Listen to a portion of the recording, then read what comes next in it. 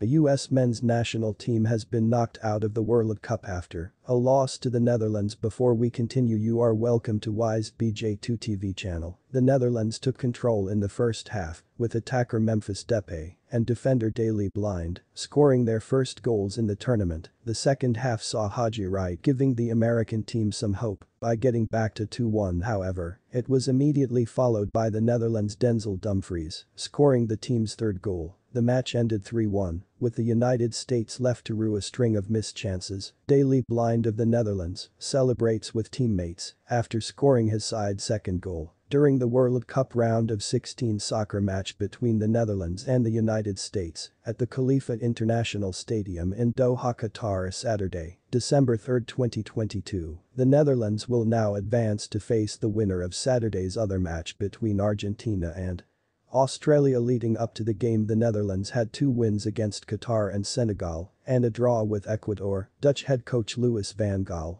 also confirmed his players including star midfielder Frenkie de Jong were ill with the flu before the knockout stage game and gave the team a day of rest ahead of the match. The US meanwhile had one win against Iran and shared two draws with the United Kingdom and Wales. Its star Christian Pulisic was cleared to play in the match and even started against the Netherlands even though he suffered a pelvic contusion in scoring the winning goal against Iran earlier in the tournament. USA has advanced to this round of the World Cup six other times in 1930, 1934, 1994, 2002, 2010 and 2014 but it has only advanced further twice in its history. Thanks for watching please don't forget to subscribe God bless you.